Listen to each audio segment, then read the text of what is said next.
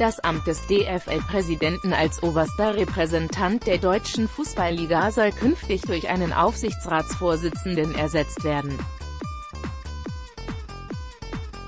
Das berichtet der Kicker, nachdem Amtsinhaber Reinhard Raubal am Montag angekündigt hatte, sich 2019 nicht mehr zur Wiederwahl stellen zu wollen. Der insgesamt neunköpfige Aufsichtsrat soll die Arbeit der DFL GmbH um Geschäftsführer Christian Seifert kontrollieren. Das DFL-Präsidium soll demnach von einem ständigen Ausschuss ersetzt werden, dessen Zuständigkeiten begrenzt sind. Die Clubs der Bundesliga und 2. Liga sollen künftig in Teilversammlungen zusammenkommen, um über Belange ihrer jeweiligen Liga zu entscheiden.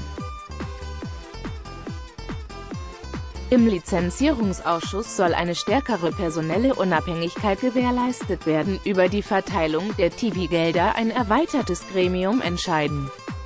Die Reformpläne sollen den Vereinen in den kommenden zwei Wochen bei fünf Veranstaltungen in Hamburg, Düsseldorf, Frankfurt, Main, München und Leipzig vorgestellt werden, schreibt die Sportbild. Abgestimmt werden könnte dann während der Mitgliederversammlung am 13. Dezember oder spätestens im März 2019 damit die Änderungen bei der Generalversammlung im August 2019 in Kraft treten können. Werbung Werbung